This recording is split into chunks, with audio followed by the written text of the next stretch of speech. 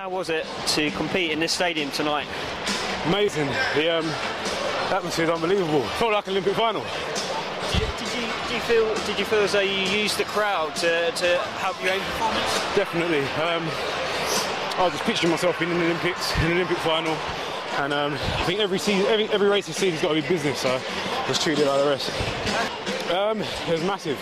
Um, through school and college, I was always involved, involved in sports, um, and that kept me on the straight and narrow basically, and pushed me into the sport further on.